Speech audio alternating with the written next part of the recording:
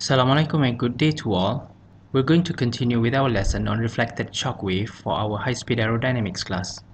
In this session, we're going to learn about the strategy to solve problems on shock waves that reflect off a wall in a straight cylindrical tube. Okay, so let's look at the problem of the reflected shock. What is the problem actually? Normally, the problem is about predicting all of the gas properties in the tube in all the gas regions across the shock before and after the shock reflection. In this picture, you have the initial scenario of a shock moving to the left inside the tube. In the standard cases, the original gas properties are known in the tube in region 1 before the shock passes through. And also in most cases, the shock velocity is known or can be experimentally measured. What is not known is the gas properties behind the shock in region 2. Well, this is actually the same problem as the moving shock problem and we've learned how to solve this problem in our previous video. To solve it, you basically have to convert the frame into the shock frame. From this new setting, you can solve the problem as a stationary shock problem. After solving this, we can get the values of the gas properties in region 2, including the velocity v2 prime and also v2.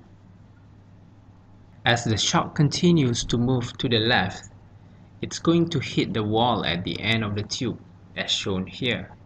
At the same time, it is carrying all the gas behind it, labeled as region 2, that is itself moving at some speed v2, but slower than the shock speed.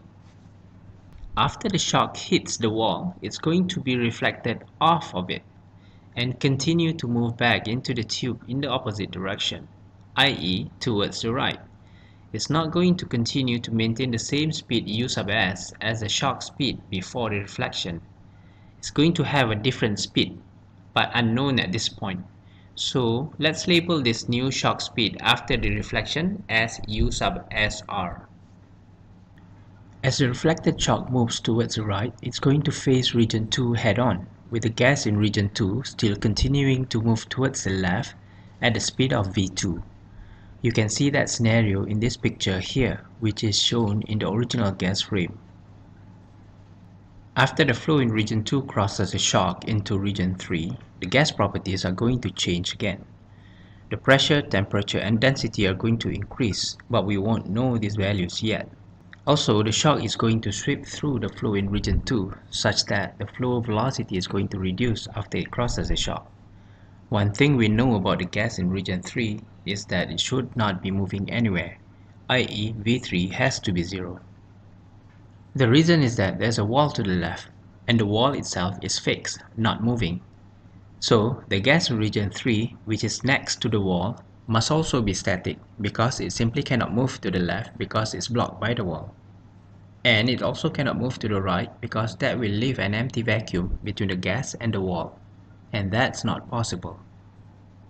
So to solve this problem, which is basically still a moving shock problem, where the shock is moving at a speed u sub s r, we need to change the frame into the shock frame. The new frame is shown here.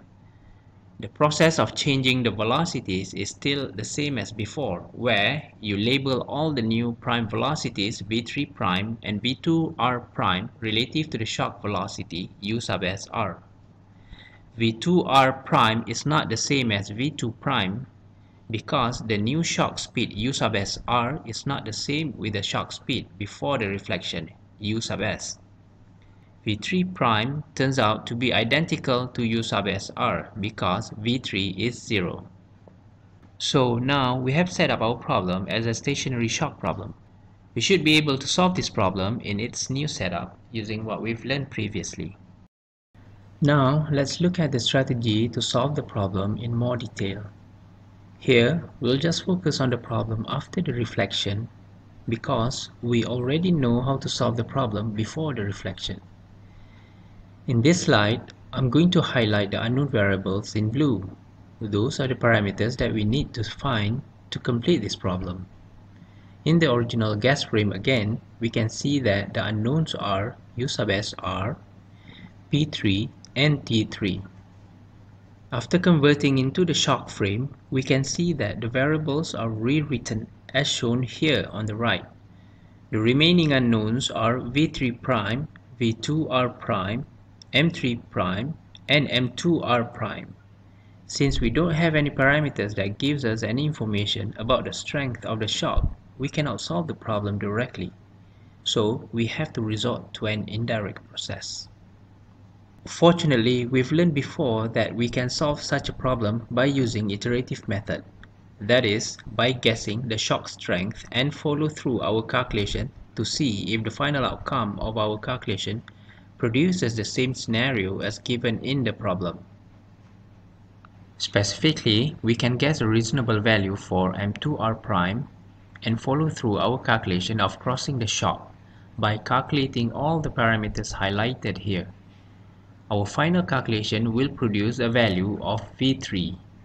It should be 0 as discussed before, but since we are just guessing a value for M2R prime, the V3 that we got out of our calculation may not be equal to 0. If it's not, we need to redo our guessing of M2R prime again. Essentially, we have to iteratively repeat the process until we get V3 close enough to 0 within our tolerance. Once we have achieved that, all the parameters calculated within that final process are the solution to this problem. This whole process is similar to the ones discussed in our previous video, so I won't repeat the entire process of the iterative method in detail. Okay, let's recap the concepts we have learned in this session. We have a shock wave moving inside the tube towards the wall and reflects off the wall to move into the opposite direction. We can split the problem into two parts. Number one, before the reflection, and number two, after the reflection. The problem before the reflection is essentially a standard moving shock problem that can be easily solved by converting the gas frame into the shock frame and solving it using the stationary shock concept. After the reflection, it is also a moving shock problem but has to be solved indirectly using an iterative process. So basically that's the three big concepts we've learned here. Concept number one, change the moving shock problem into a stationary shock problem. Concept number two, solve the stationary shock problem and reconvert the frame. And finally, concept number three, solve the indirect problem using the iterative method. Okay, that's all for now. Till next time, see you. Bye.